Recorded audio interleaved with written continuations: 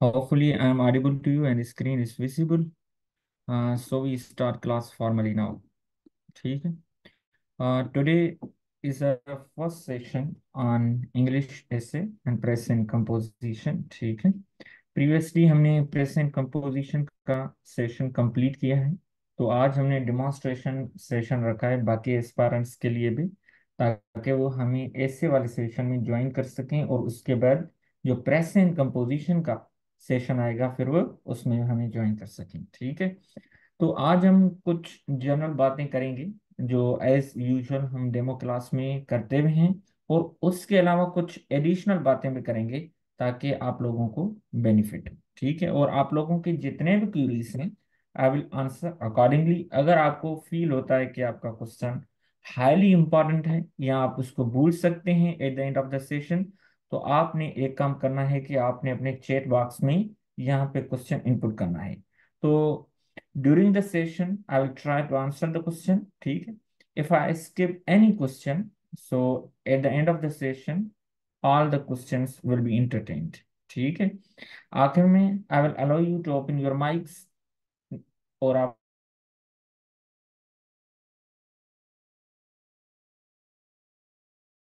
आप फिर क्वेश्चन भी पूछ सकते हैं और अपना फीडबैक वगैरह भी, जो भी।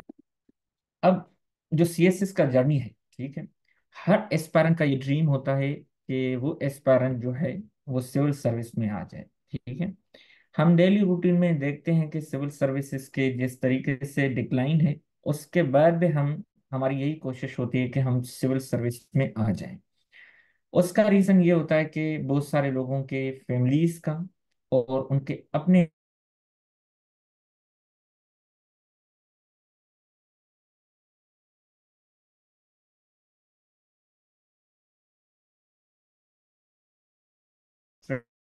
नहीं कर सकते हैं। बहुत सारे लोग वहाँ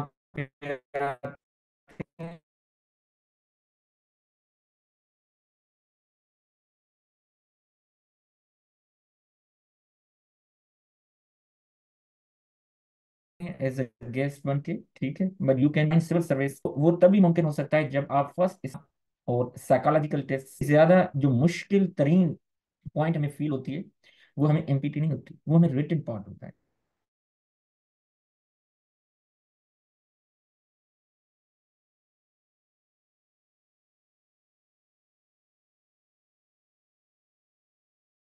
इतनी खूबसूरत नहीं है सिविल सर्विस अकेडमी की। तो ये मैं आपको सच बताऊँ कि जो सिविल सर्विस अकेडमी की जो मेमोरीज हैं, वो लाइफ लास्टिंग है।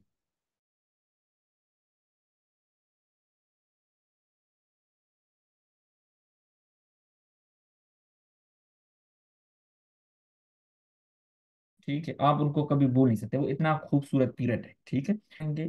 जो पेपर्स हैं, इंग्लिश वो प्रेस से इन कंपोजिशन और ऐसे की मैं क्यों बात कर रहा हूँ, क्योंकि ज़्यादातर एस्पायरेंट मेजॉरिटी एस्पायरेंट्स ऐसे में फेल होते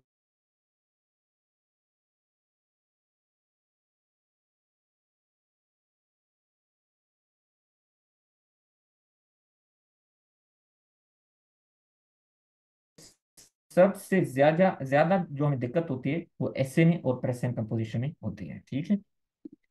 अब ये बात याद रखें कि आपका पेन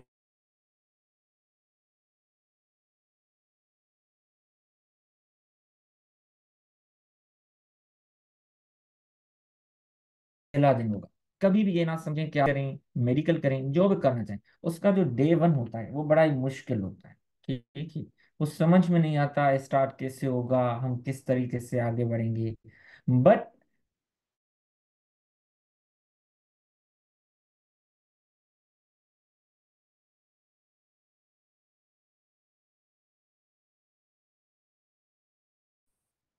एक दिन ऐसा आता है कि आपका बिल्कुल खूब अगर आप मेहनत करेंगे, ठीक है? दो हज़ार ये, ऐसा तो नहीं हुआ ना कि 2023 में कोई एलोकेट नहीं ऐसी तो बिल्कुल भी नहीं, ठीक है? इस तरीके से 2024 में भी एलोकेट होंगे 2025 में होंगे।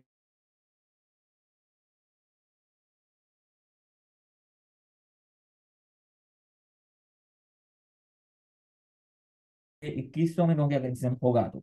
तो अब ये है मेरिट लिस्ट में आ जाएँगे। अगर आप चाहते हैं कि आपका भी कोई डे आ जाए, ठीक है। डे वन तो आपका है, वो डे वन आज ही समझे बट अगर आप भी चाहते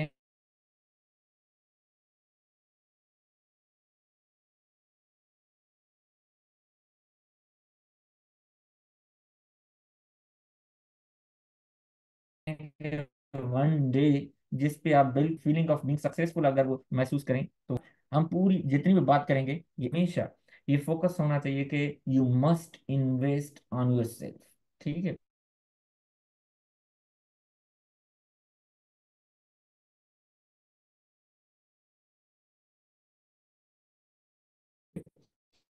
हम इन्वेस्ट नहीं करते। इशू आ रहा है? यहाँ अलग को हो रहा है। थोड़ा इंटरनेट का इशू होता है। अच्छा वॉइस में इशू आ रहा है।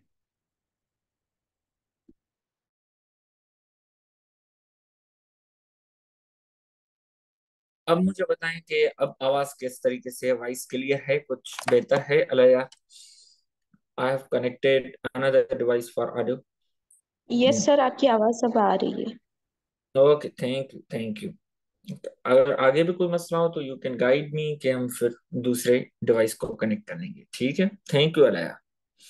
तो अब आपका ये फोकस होना चाहिए कि you should invest on yourself अक्सर हम क्या करते हैं, हम बाकी चीज़ों पे इन्वेस्ट करते हैं, ठीक है? हम सुस्ती करते हैं अखबार के खर्चे में, हम सुस्ती करते हैं बुक्स लेने में, हम बारो किसी से बुक करें, इससे बेहतर है कि हम अपना बुक परचेस करें, अगर हमारे पास इतने वसाइल हैं तो ठीक है? बाकी जगहों पे हम पैसे ज़्यादा वेस्ट करते हैं और बुक्स पे और जो है न्यूज़पेपर पे, जो नेसेसरी हमारे एलिमेंट्स हैं प्रिपरेशन के, हम पे कम फोकस करते हैं। तो आप लोगों को उस पर फोकस करना है। You have to invest on yourself ठीक है?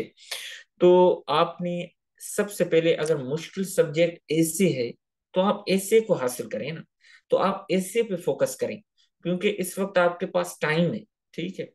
अब ये जून का महीना है। अगर आप जितना आगे जाएँगे, आप भले एक महीने में, दो महीने में इसको प्रिपेयर करें बट अगर आगे जाके आपके पास तीन महीने में होगा तो it will be a burden upon you ठीक है आपके ऊपर प्रेशर होगा। जब आपके ऊपर प्रेशर होगा तो प्रेशर में सही तरीके से बंदा वो अपनी फुल पोटेंशियल के साथ परफॉर्म नहीं कर पाता। ठीक है तो आ, आपने अब क्या करना है? खुद पे इन्वेस्ट करना है। और सबसे ज़्यादा हम अपने फेल्यूर को किस तरीके से अवॉइड कर सकते हैं? ठीक है we can avoid failure by preparation ठीक है बाय बीटिंग अनलक तो आपने क्या करना you have to prepare yourself from today but from now ठीक है, आज से और अभी से आपने स्टार्ट करनी है, ठीक है? Do not draw line Mohammad anyone else जो भी है? ठीक है लाइन ड्रा ना करें प्लीज़ ठीक है, खामोशी के साथ सुननी. तो आपने क्या करना है, अगर अवॉइड करते हैं फेल्यूर को तो आपने इन तमाम एलिमेंट्स पे फिर फोकस करें, ठीक है? अब यहाँ पे देखें कि ये हमारे कोर्स आउटलाइन है, जिसको हम फॉलो करते हैं ऐसे के सेशन में, ठीक है? तो सबसे पहला जो हमारा फोकस होता है, वो होता है बेसिक्स ऑफ़ इंग्लिश ऐसे ठीक है? इंग्लिश ऐसे को हम किस तरीके से प्रिपेयर करेंगे तो हमें पता होनी चाहिए कि what are the components of English ऐसे अब उसमें कौन कौन से हमने क्राइट एरिया को फॉलो करना है? रेलिवेंस अगर नीडेड है तो किस तरीके से मेंटेन करेंगे and what is the relevance वो है क्या चीज़? हम अगर सुनते हैं कि we have to maintain the unity then first we have to learn what is the unity and how can we maintain it? Same is the case with coherence, organization, and other aspects. ठीक है? ये जितने भी basics of English में relevance ठीक है। हो गए यूनिटी हो गए कोहिरेंस एंड ऑर्गेनाइजेशन ठीक है? We all sum up into the effective sentence writing तो एक सेंटेंस आप लिख रहे हैं और एक दूसरा आपका दोस्त लिख रहा है, उसका बहुत ही मेच्योर सेंटेंस है और आपका मेच्योर नहीं है। What is the reason behind के आपका सेंटेंस मेच्योर नहीं है और आपके दोस्त का सेंटेंस मेच्योर है? तो किस तरीके से वर्ड्स का चुनाव करता है और किस तरीके से अपने वर्ड्स को यूटिलाइज करता है और असेंबल करता है?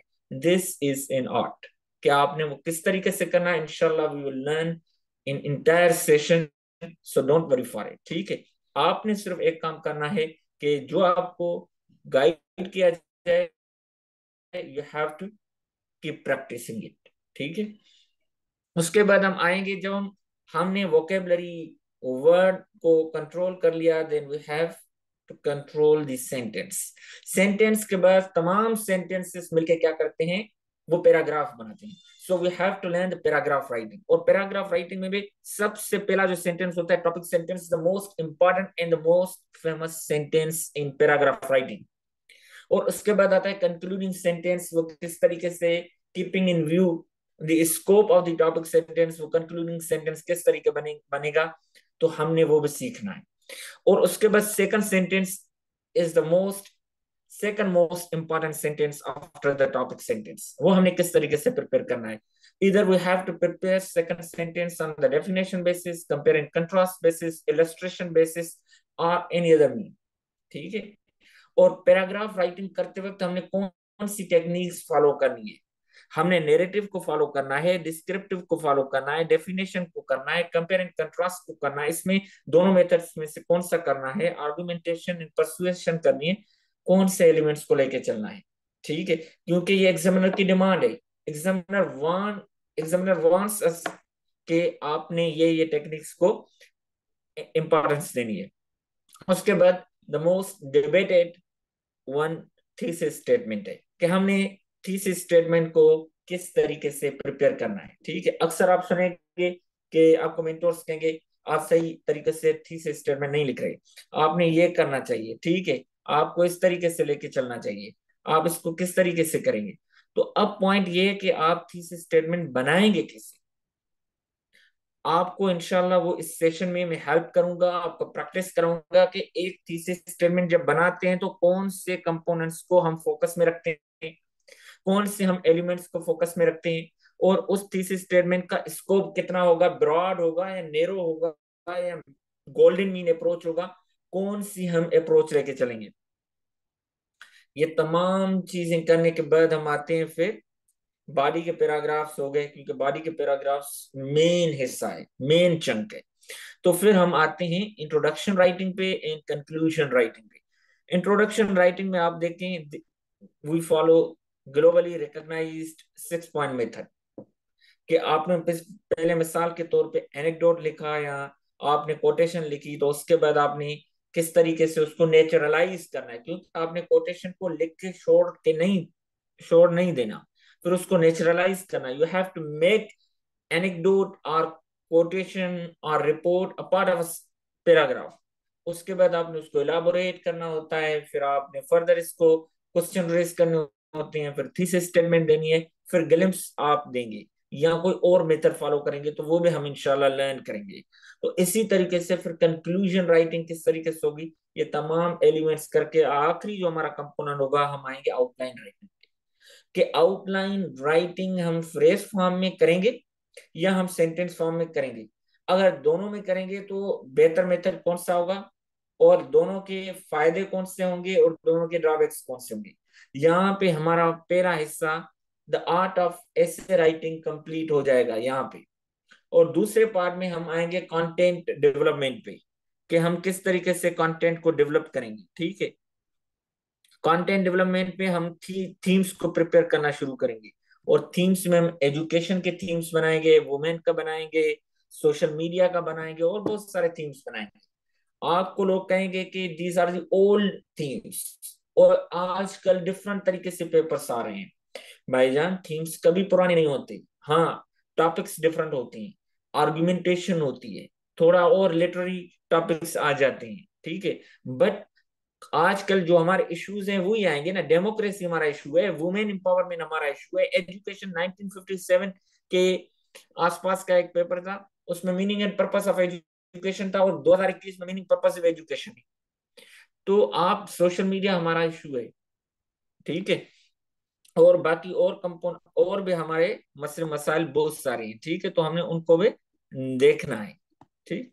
तो इन तमाम एलिमेंट्स को हम लेके चलेंगे। आपके पास शायद स्क्रीन विजिबल नहीं हो तो हम उसको मेक श्योर करते हैं कि वो विजिबल हो जाए। एक मिनट। ठीक है।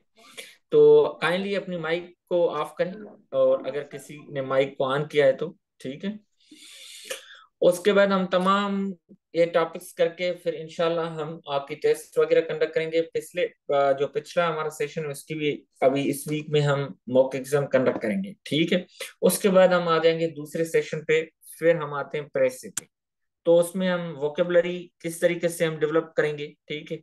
वोकेबलरी डेवलपमेंट पे काम करेंगे, ठीक? और उसके अलावा हम प्रेस राइटिंग अक्सर एस्पायरेंट्स कहते हैं कि, सर प्रेस राइटिंग हम अगर ना करें, क्योंकि 20 मार्क्स का क्वेश्चन है और 80 मार्क्स का बाकी पोर्शन है, अगर वहाँ से करें हम 40 मार्क्स का करके आए तो पास हो जाएँगे।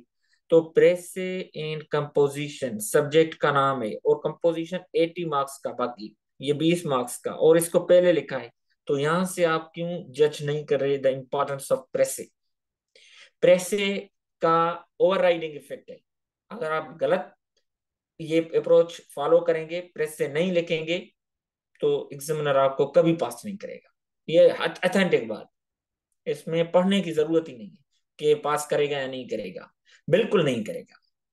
प्रेसे में है ही तीन चीज़ें। प्रेस से कॉम्प्रिहेंशन एंड ट्रांसलेशन अगर आप तीनों कंपोनेंट्स छोड़ेंगे तो फिर क्या बचेगा? तो हम किस तरीके से कॉम्प्रिहेंशन को करेंगे वोकेबलरी बिल्डिंग करेंगे दियारी थर्टी फाइव हंड्रेड वोकेबलरी हम किस तरीके से करेंगे, इन तमाम एलिमेंट्स को हम इनशाला लेके चलेंगे, ठीक है? तो उसके बारे में बिल्कुल परेशान हो स्क्रीन आपको विजिबल हो जाएगी, ठीक है? और उसके बाद हम बाकी चीज़ों को देखेंगे वोकेबलरी बिल्डिंग के अलावा पंक्चुएशन हो गई।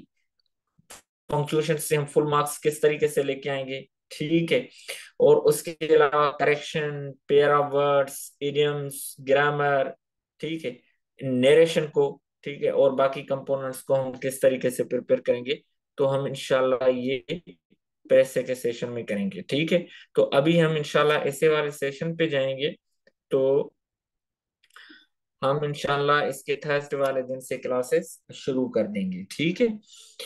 और इसकी रिकॉर्डिंग आपको मेरे यूट्यूब चैनल पे भी मिल जाएगी and I will share recording with you जो इस पेरेंट्स घर पे बैठना चाहते हैं घर बैठ के प्रिपरेशन करना चाहते हैं और जो हमारे साथ भी इस जर्नी में चलना चाहते हैं तो ये दोनों के लिए आगे मैं बुक्स कुछ रिकमेंड कर रहा हूँ। Again I am already share these books in my groups तो अगेन मैं शेयर करूँगा। मैं आपको uh, चूरन बेचने के लिए बुक्स चेंज नहीं करता कि ताकि आपको अच्छा लगे कि बुक्स चेंज हो रहे हैं हर बार। नहीं जो अच्छे बुक्स हैं तो ये एक दो साल में पुराने नहीं हो जाते, ठीक है? ये डिकेड्स चलते हैं। इस तरीके के राइटर्स अगर बुक्स डेवलप कर रहे हैं तो ये तो सदियों के लिए लिखते हैं, जिस तरीके से रेने मार्टिन चल रहा है। तो अब यहाँ पे आप देख सकते हैं, ये इंग्लिश 101 मैडम सुरैया शफी मीर ठीक? तो इसके आपके वीडियो लेक्चर्स यूट्यूब पे वर्चुअल यूनिवर्सिटी के चैनल पर मिल मिल जाएँगे। मगर वो जो है थोड़े स्लो आप उसको स्पीड अप करके सुन सकते हैं। बट अगर आप ना सुने टाइम बचाना चाहते हैं, अगर आपकी ग्रिप है तो फिर आप क्या करें? लेक्चर नंबर ट्वेंटी टू से। आप जाके लेक्चर नंबर ट्वेंटी टू से आपने क्या करना है? लेक्चर नंबर रीड करना है। यहाँ से लेके फाइव तक, ये राइटिंग आउटलाइन तक। आप अगर डेली एक भी करते हैं तो आप देखें यहाँ पे कितने हो जाएँगे? सोलह हो जाएँगे। सॉरी फोर्टीन हो जाएँगे। तो आपने अगर डेली एक करना है तो फोर्टीन डेज़ में आपका एक लेक्चर विथ एक्सरसाइजेस हो जाएगा। और ये आपने लाजिम करना है और जिस मैनर में मैं आपको बुक्स रिकमेंड कर रहा हूँ, उसी मैनर में आपने चलना है, ठीक है? सबसे पहले आपने अगर इस बुक को करना है। अगर आप समझते हैं इस बुक्स के एलिमेंट्स हमारे क्लियर हैं तो फिर आप इस बुक पे आ जाएँगे the outstanding book one of the finest books I love this book the elements of style the world wide best seller book by William Strunk तो आप देखें, ये कोई नावल नहीं है कि इसकी मिलियंस में कॉपी सेल हुई ये सिर्फ़ इस तरीके से कैप्शन देने के लिए वर्ल्ड वाइड बेस्ट सेलर नहीं है। It's truly a best seller book इसके दो पार्ट्स हैं और दोनों पार्ट्स ही आपने करनी है। एक छोटा सा बुक है। बुक ले थे इससे समझे। आप दो सेटिंग्स में इसको कर सकते हैं। ठीक है? तो ये आपको जो इफ़ेक्टिव सेंटेंस राइटिंग वाला क्लास है एटी परसेंट मेरा लेक्चर इस बुक से प्रिपेयर है। ठीक है? तो आप अगर इस बुक को पढ़ेंगे रीड करेंगे, इसको डाइजेस्ट करेंगे इंटेलेक्चुअली डाइजेस्ट करेंगे, लोग कहते हैं, सर, ये मुश्किल है, दुनिया में कोई चीज़ मुश्किल नहीं है। अगर आपका ड्रीम हाई है औकाव की तरह है तो फिर आपके लिए कोई मुश्किल नहीं है। आप चटाने में पास जो है, उनको सर कर लेंगे। अगर आपका ये ड्रीम है कि आपने सी भी करनी है पोजीशन भी उठानी है, और अपने ग्रुप में, अपने पसंदीदा और फेवरेट ग्रुप में लोकेट होना है तो मैं आपको सच बताऊँ, आपकी कोई कमज़ोरी आपके आड़े नहीं आएगी। वो दी एलिमेंट्स ऑफ़ स्टाइल का डिफ़िकल्ट होना हो, आपके फाइनेंशियल इश्यूज़ हो, आपके और मसले मसाइल हो, आपके घर में झगड़े हो, और आपके साथ इधर उधर जाने का इशू आजकल कंप्यूटर की दुनिया है। There is no need to go to Lahore Islamabad Karachi और एनी अदर बिग सिटी आप बैठ जाए कंप्यूटर के सामने, आप हार्वर्ड की डिग्रियाँ फ्री में हो रही हैं। मतलब कोर्सेज हो रहे हैं कैम्ब्रिज के कोर्सेज हो रहे हैं। दुनिया आजकल इस कंप्यूटर पे आ गई है और आप आज अगर ये एक्सक्यूज दें कि I have no money to purchase a book when thousands बल्कि नॉट थाउजेंड्स ठीक? आप देखें तो tens of books are available on Z library and other websites तो आजकल तो एक्सक्यूज नहीं है कि मेरे पास पढ़ने के लिए बुक नहीं वो बुक नहीं है तो उस लेवल का बुक या उससे ज़्यादा लेवल का बुक अवेलेबल है, ठीक है? आजकल तो कंटेंट जो है बुक्स का मोहताज ही नहीं है। तो आप वहाँ से कर सकते हो, ठीक है? Do not stick to the traditional techniques ये बुक देखें ऑन राइटिंग गोल वहाँ वो बुक आपने पूरा पढ़ना है। बट इस बुक को आपने क्या करना है? You have to go through the outline of this book ठीक है? Then you have to point out के what are the areas that should be read from this book कि आपने वो एरियाज़ को, जो आपको लगता है कि मेन चीज़ें और आपने वो करनी है तो इस बुक से वो करें, ठीक है? This book is a classical guide to writing non fiction and we are writing non fiction तो हमारा फिक्शन का तो काम ही नहीं है, ठीक है? विलियम जिंस्कर का, आप देखें कि more than one million copies has been sold तो वो तो डेवलप कंट्रीज़ में और हमारे जैसे मुल्क में तो ये पायरेटेड कॉपीज और इस तरीके की कॉपीज चल रही हैं। तो आपने इस बुक से हेल्प लेनी है, ये खजाना है। और इन बुक्स में आपकी सी छुपी हुई है, ठीक है? अगेन आप इसका कवर देखें, जिस तरीके से खूबसूरत कवर है, उससे ज़्यादा कई गुना खूबसूरत ये बुक है how to write essays step by step guide for all levels simple essays ठीक है? Don't search outstanding book again you have to go through the outline pick up the points pick up the topics that you want to read ठीक है? वो you करने सारे का सारा book आपने नहीं देखना। जिस अंदाज में मैंने इनको रखा है, उस अंदाज में आपने सीरीज़ को फॉलो करना है। Essay writing skills, it is it is a comprehensive book comprehensive book for paragraph writing. तो आपने क्या करना है कि इसमें आपको मुख्तलिफ़ टाइप्स ऑफ़ पैराग्राफ्स मिल जाएँगे। आपको इसमें नरेशन मिल जाएगा, आपको इसमें बाकी बुक्स के बाकी पैराग्राफ्स के टाइप्स मिल जाएँगे कंपेयर एंड कंट्रास्ट मिल जाएगा, आपको इसमें डिस्क्रिप्टिव मिल जाएगा, ठीक है आर्गुमेंटेशन एंड परसुएशन मिल जाएगा। All the types are available in this book ठीक है। Again one of the outstanding book मैं आपको सिर्फ़ सजेस्ट नहीं कर, करा I have read this book जितने बुक मैंने आपको दिखाए तो I have read this these books और जब रिकमेंड करते हैं तो इट मींस के we have gone dozens of books ठीक है? तो ऑलरेडी हम उन बुक्स से ज़्यादा अगर हम छह बुक्स सजेस्ट करें तो ये नोट करें कि हम सात बुक पढ़ के आपको फिर सजेस्ट कर रहे हैं छह बुक और model models for writers it is an advance book ठीक है? बिगनर्स के लिए नहीं है। आप इस बुक को अगर ना भी टच करें तो कोई फ़र्क नहीं पड़ता। बट अगर आपके पास टाइम है, and you have attempted two thousand twenty four वाला जो अटेम्प्ट है, वो दिया है या 2023 वाला दिया है 2022 वाला दिया है already you have gone through this experience तो फिर इस बुक को पढ़ें, थोड़ा आपको एडवांस लेवल है। बाकी स्टार्टिंग में जाने की ज़रूरत नहीं है and I do not compel you कि आप इस बुक को पढ़ें भी ठीक है ज़रूरी भी नहीं है ठीक है तो ये बुक्स हैं और again one of the outstanding book fundamentals of essay in answer writing skill this book is written by Anudeep Durishetty Uh, he's an Indian administrative service officer, like we are here press officers. He got all India rank number one in his fifth attempt. ठीक है वहाँ पे पाँच छह attempt है जो भी तो पहले इसका आई आर हिस्सा या कोई और ग्रुप जो भी था तो इसने इस बुक को भी दो हिस्सों में बांटा हुआ है डिवाइड किया है। पहले हिस्से में इसने ऐसे राइटिंग पे काम किया और ऐसे राइटिंग डिफरेंट फॉर यूपीएससी तो हमारा उसके साथ कोई लेना देना नहीं, ठीक है? तो हमने उसमें सिर्फ़ एक पॉइंट है कंक्लूजन राइटिंग इसने बहुत ही अच्छे तरीके से वो किया है। तो हमने कंक्लूजन राइटिंग वहाँ से करनी और सीखनी है। उसके अलावा जो सेकंड पार्ट है, उसका आंसर राइटिंग तो अभी आपका आंसर राइटिंग के साथ कोई लेना देना नहीं बट जब भी आप optional and compulsory subjects prepare करें तो you have to go through the second part of this book answer writing वो आपको बताएगा कि आप छह से बारह मार्क्स किस तरीके से लेंगे डेटा को रिप्रेजेंट किस तरीके से करेंगे सोर्सेज को किस तरीके से करेंगे। There are dozen of books available but this book is fine ठीक है? तो आप वहाँ से करेंगे अगर आपके पास ना हो तो मुझे बताना आई विल शेयर विद उसके बाद वोकेबलरी के। वोकेबलरी हम कहते हैं कि आप प्रिपेयर करें। कुछ लोग कहते हैं, नहीं प्रिपेयर करनी चाहिए, आप बुक रीडिंग करते हैं, वहाँ से हो जाएगी। भाईजान वहाँ से हो तो इट्स बेटर कि जब 20 मार्क्स का एक क्वेश्चन आता है तो why should we not prepare for it ठीक है, इतना मुश्किल सब्जेक्ट में 20 मार्क्स मज़ाक तो नहीं है। वहाँ से हमारी तेरह, चौदह मार्क्स सिक्योर हो जाती हैं इट्स बेटर हमारा करियर बन जाएगा ना। हमें और क्या चाहिए?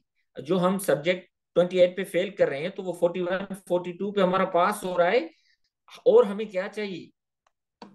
ठीक है तो थर्टी फाइव हंड्रेड वो वो कहेंगे आपको कि वो डल वोकेबलरी है डेड वोकेबलरी आप भूल जाएँगे भाई, भूल जाए अटेम्प्ट के बाद क्या फ़र्क पड़ता है मिसाल के तौर पे? हमारी एलोकेशन हो जाए, बस हम पास हो जाए। वो भूल जाए, एक भी बार नहीं याद रहे, क्या फ़र्क पड़ता है दूसरी बात कि हम डेड वोकेबलरी किस, क्यों बनाएँगे? हम इस तरीके से बनाएँगे कि हमें इससे फ़ायदा हो पैसे में फ़ायदा हो कॉम्प्रिहेंशन में फ़ायदा हो ट्रांसलेशन में फ़ायदा हो पेरा वर्ड्स में फ़ायदा हो इडियम्स में फ़ायदा हो, हर जगह पे जब वोकेबलरी है तो हम क्यों ना प्रिपेयर करें उसको? हम क्यों ना अपनी फाउंडेशन को मज़बूत करें?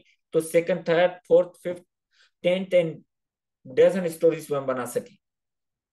तो अब verbal advantage covers 3500 vocabulary of GRE ठीक है, ये मैं क्लेम नहीं कर रहा this book claims in its preface author of the book claims ठीक है तो इसने क्या क्या है? थर्टी फाइव हंड्रेड वोकेबलरी को फाइव हंड्रेड वोकेबलरी के नोट्स बनाए। नोड सेंट्रल पॉइंट किस तरीके से एक लेवल में इसने फिफ्टी वर्ड्स को एम्प्लॉय किया है? और उनको पाँच हिस्सों में बांटा है, दस दस, इस तरीके से। और हर दस के बाद एक टेस्ट रखिए। तो मतलब टेस्ट है टेस्ट है, ठीक है।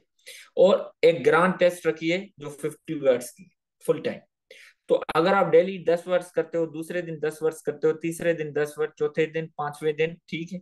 और छठे दिन आप टेस्ट करते हो तो आपका वीक वन पूरा होगा लेवल वन वीक वन में लेवल टू वीक टू में लेवल थ्री वीक थ्री में लेवल फोर वीक फोर में, इसी तरीके से लेवल टेन वीक टेन और टू एंड हाफ़ मंथ्स में आपकी वोकेबलरी याद कवर हो जाए। और क्या चाहिए आप और वोकेबलरी आप कहेंगे, सर, हम पैंतीस सौ में तो पैंतीस सौ याद नहीं रहेंगी। भाईजान अगर चौंतीस सौ आप भूल जाए, सौ भी तो याद रहेगी ना। कहीं ना कहीं तो काम आएगी। फिर रिविजन करें, फिर बत्तीस सौ हो जाएगी भूलने वाली। तीन सौ आपको हो जाएगी, फिर पाँच सौ हो जाएगी, फिर सात सौ हो जाएगी, फिर हज़ार हो जाएगी, फिर पंद्रह सौ हो जाएगी, फिर दो हज़ार हो जाएगी, फिर पैंतीस सौ हो जाएगी, फिर पाँच पाँच हज़ार। खुद ब खुद डान वाली मिलके, बुक रीडिंग वाली मिलके, ये मिलके आपके बीस के वीक्स लग जाएँगे। आप कहेंगे, सर, एक बार मुश्किल आया था, लोगों का कुछ भी नहीं लग रहे थे, इससे भी नहीं आता वो एक साल था ना, हर साल तो नहीं होता। ठीक है? फिर भी उनके लग गए होंगे जिनने वोकेबलरी प्रिपेयर की होगी। तो वोकेबलरी अगर कोई कहता है कि प्रिपेयर ना करें, वो समझे आपका दुश्मन।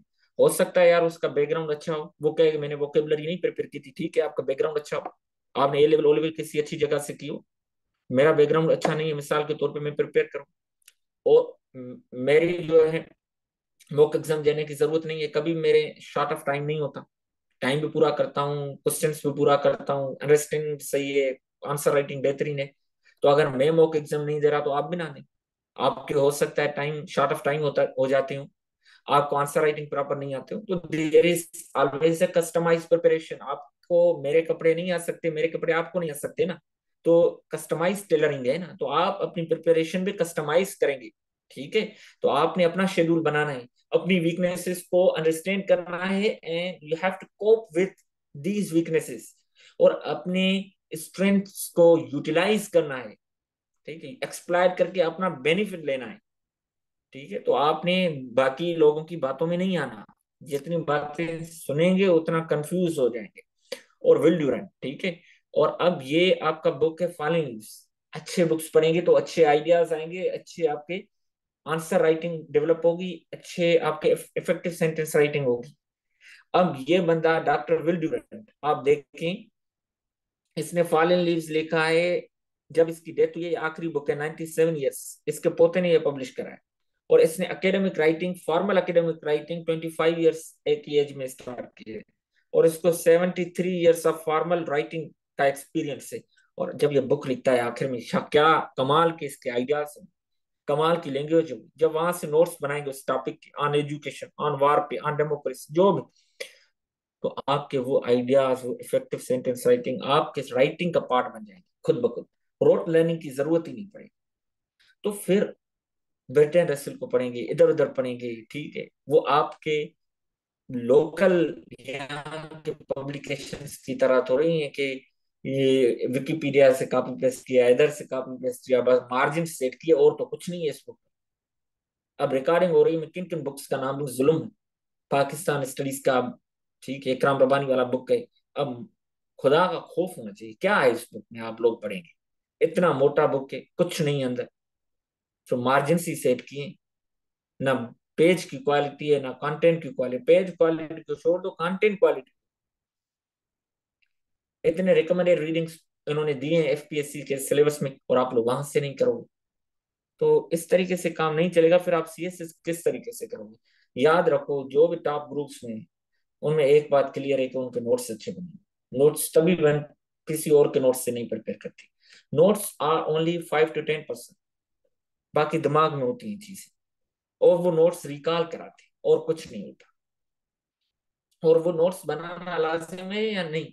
नोट्स अच्छे बुक्स से बनाना लाजिम है। बाकी नोट्स तो पूरे आपको पंजाब यूनिवर्सिटी के कैंटीन पे मिल जाते हैं।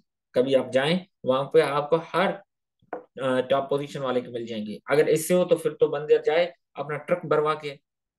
अगर इस तरीके से पास होना हम तो नहीं गए कभी। ठीक है, हमारे जिन दोस्तों के साथ देखने गए तो उन्होंने लिए। क्या हुआ? कोई फ़ायदा नहीं हुआ। अब वो घर बैठे हैं, या प्रिपरेशन अभी कर रहे हैं तो नहीं होगा फ़ायदा। और ये बुक हम इंशाल्लाह पढ़ेंगे थीसिस स्टेटमेंट पे जब आएँगे। और ग्रामर के लिए, ठीक है, अब रेन मार्टिन से निकले यार, पुराना बुक है अब आजकल नई टेक्निक्स आ गई ठीक है the blue book of grammar and punctuation outstanding book तो आप वहाँ से पढ़ें पंक्चुएशन प्रिपेयर करें टाइटल में पंक्चुएशन है तो आउटस्टैंडिंग एक्सपीरियंस से इंशाल्लाह हम यहाँ पे स्टडी भी करेंगे आई विल हेल्प यू कि आपने किस तरीके से ये तमाम के तमाम कंपोनेंट्स को प्रिपेयर भी करना है, ठीक है? तो बिल्कुल परेशान नहीं होना। तो ये बुक आपने English grammar in use Raymond Murphy vocabulary के साथ लाजम कर दें खुद ठीक है? वोकेबलरी सुबह के टाइम करें। It burns your mental energy ठीक है? और बाकी ये जो है, इतना टफ नहीं है काम तो जब आप बिल्कुल सब काम करके पढ़ाई करें शाम के टाइम इसके अगर आप डेली तीन लेसन भी करें और इसमें 145 लेसन है तो अगर तीन लेसन भी करेंगे तो आप देखें कितने हो जाएँगे, ठीक है? तो तकरीबन ये 43 जितने भी डेज़ में बनता है। ठीक है? तो आप उन डेज़ में आपका हो जाएगा। तो अब आप डेली करें 20 मिनट में एक लेसन भी करें तो एक घंटा डेली ठीक है? तो आपका कितने में हो जाएगा? Forty eight forty nine days में हो जाएगा। और आपकी पूरी ग्रामर हो जाएगी। Forty eight forty nine days आपके कितने बन जाते हैं? तो आपका तकरीबन एक महीना बीस दिन बन गए। ठीक है? और टू एंड हाफ़ मंथ्स में आपके पिछहत्तर दिनों में वोकेबलरी हो गई, तीस दिन पचास दिन में ये हो गई। मतलब आपके तीन महीने में तमाम मेन मेन कंपोनेंट्स हो जाएँगे। ठीक है, इतना मसला ही नहीं है। और पंक्चुएशन हम यहाँ से प्रिपेयर करेंगे इनशाला आई विल हेल्प यू यहाँ पे किस तरीके से। ये F S C part one का बुक है। हद से ज़्यादा इसमें वोकेबलरी यूटिलाइज है। तो यहाँ से हम रूल्स सीखेंगे। इस बुक से blue book of grammar and punctuation यहाँ पे यूटिलाइज करेंगे और वोकेबलरी हम इंक्वायरी बेस्ड लर्निंग के हिसाब से करेंगे। फिर करेक्शन प्रेस से तमाम कंपोनेंट्स को हम इनशाला लेके चलेंगे। हम आते हैं यहाँ पे। थोड़ा आपको बात करूँ जो आपके दिमाग खोल ले। याद रखें, कुछ लोग आते हैं बड़े बड़े बुक्स सुबह आठ बजे चेना लाइब्रेरी के दरवाजे पे दाऊदपोटा लाइब्रेरी के दरवाजे पे, ठीक है? और कराची में डीसीएल जो है या British Council library Lahore in Karachi तो ऐसा भी नहीं है, ठीक है? तो आप इन, दूसरे दिन फिर आप आहिस्ते आहिस्ते आपकी एनर्जी ड्रेन होती जाए। इस तरीके से काम नहीं चलेगा। कंसिस्टेंसी के साथ। डेली अगर आप एक घंटा देते हैं तो दें। मिस ना करें। दो घंटे, तीन घंटे, चार घंटे। आप कंसिस्टेंसी मेंटेन करेंगे, आप हिट करेंगे। अगर एक पानी का कतरा, एक अगर पत्थर पे एक दिन गिरता है तो उसको कुछ नुकसान नहीं होगा। दो दिन गिरेगा तो कुछ नहीं होगा। एक महीना गिरेगा, थोड़ा अपना वहाँ पे जो है निशान छोड़ेगा, ठीक है? फंजाई डेवलप होगी, जो भी होगा। एक साल गिरेगा तो और निशान छोड़ेगा। पचास साल गिरेगा, वही उस लेवल का कतरा तो बिल्कुल अंदर निशान होगा, डीप निशान होगा। अगर वही एक हज़ार साल होगा तो और डीप। एक मिलियन साल होगा तो मतलब कंसिस्टेंसी वो एक पानी का कतरा कितना पावरफुल बन गया विथ कंसिस्टेंसी अगर आप एक को कुछ नहीं करते मतलब एक 365 के साथ इसको पावर दें बट अगर आप वन को सिर्फ़ सिर्फ़ इस तरीके से आप इसको 365 के साथ करें तो कुछ ना कुछ तो डेवलपमेंट आएगी, आगे बढ़ेंगे। तो डेली कुछ ना कुछ करें कंसिस्टेंसी कंसिस्टेंसी के अलावा कोई चांस नहीं। और ये ना करें कि हमें मंजिल दिखेगी तो तब हम आगे बढ़ेंगे। मंजिल कभी नहीं दिखती मंजिल दिमाग में होती है। आप शुरू करें, डिले ना करें। मैंने आपको कहा शुरुआत में, अवॉइड फेल्यूर का कि प्रिपेयर टुडे बट नाउ, अभी से करें। तो आपका रास्ता बनता जाएगा, आगे जाते जाएँगे, मंजिल बनती जाएगी, राह निकलती जाएगी। ठीक है? और प्रॉब्लम्स आपको आएँगी, आप रोएँगे, आप अकेले होंगे, आपके साथ कोई नहीं चलेगा। ठीक है। आपके साथ आसपास वो होंगे जो फ़ोन पे बातें कर रहे हैं, अपने फ्यूचर के साथ खिलवाड़ कर रहे और आप खुद को बेवकूफ़ लगोगे कि वो सही है, वो खुश है। हर चीज़ पढ़ाई तो नहीं होती क्योंकि वो तकलीफ़ देती आपको लगेगा। वो लोग कहेंगे, यार, खुश रहो, ज़िंदगी एक ही है। पढ़ाई के टेंशन में खत्म हो जाओगी। हकीकत में आप खुद को प्रिपेयर कर रहे हो खुशी के लिए और वो तबाही के लिए प्रिपेयर कर रहे हैं। आप रोज उनको ज़्यादा पैसे मिल रहे होंगे और आपको खाने के लिए पैसे नहीं प्रॉब्लम्स आएँगे। ये याद रखें कि facing them is an art of life रास्ता बनाए खुद बनाए और बनता जाएगा। ठीक है? कभी खाने के लिए पैसे नहीं होंगे। नहीं होते। एस्पायरेंट कोई भी उनको मसले आते हैं। मैं आपको एक अपना मसला बताता हूँ कि आ, मैं बड़े अरसे के बाद एक लाहौर गया था। मैं पहले गया था फिर मेरी अपेंडिक्स की ऑपरेशन तो मैं गया तकरीबन छह आठ महीने के बाद। तो वहाँ चाबी लेके गया हॉस्टल की। तो अब शाम, वहाँ पे गया तो हॉस्टल की नहीं थी, फ्लैट था उन दिनों, बाद में हॉस्टल शिफ्ट हो गया। तो दो कमरे का फ्लैट था तो उसमें अंदर गंदगी थी, क्योंकि मैं इतने अरसे बाद आया, वो ईद की छुट्टियों पे लड़का आ गया। तो मैंने सफ़ाई थक गया, खाना खाने गया नीचे। तो दो चाबियाँ थी, दो रूम्स थे और मैंने गलत चाबी एक लाख को लगा दी तो उसमें अटक गई। अब एक चाबी गलत लग गई तो दूसरे कमरे की भी तो गलत चाबी होगी तो वो भी नहीं लगेगी। अब क्या? लाहौर जैसे शहर में कोई नहीं है, ठीक है? जानने वाला। अब कैसे चलेगा? तो वॉशरूम के रोशनदान से अंदर इंटर हुआ था अंदर से दरवाज़ा खुला था। सच बताऊँ literally I was weeping inside कि कहा फंस गया? और शुरुआती थी और इस तरीके से दिक्कतें अकेले। कहीं कोई आपके साथ नहीं चलेगा, अकेले ही आप और मंजिल पे तभी पहुँचेंगे। अगर आप किसी और के साथ हैं तो वो कंपनी है। वो अगर कमज़ोर पड़ गया तो आपको कमज़ोर कर देगा। आपने कमज़ोर नहीं, आपने राह बनाती जानी है अपनी। सी एस एस हो जाएगी। सी एस एस क्या? आप चटाने सर कर लेंगे। तो फिर हम पर्पस ऑफ़ राइटिंग ये तमाम एलिमेंट्स इंशाल्लाह हम कंडक्ट करेंगे तो आप जो एस्पायरेंट्स रजिस्टर नहीं है और वो मिलेंगे रजिस्टर होने के लिए they can contact madam Shagufta for the madam Shagufta is here she will guide you आपको जो भी क्वेश्चन हो, मैं आंसर कर देता हूँ।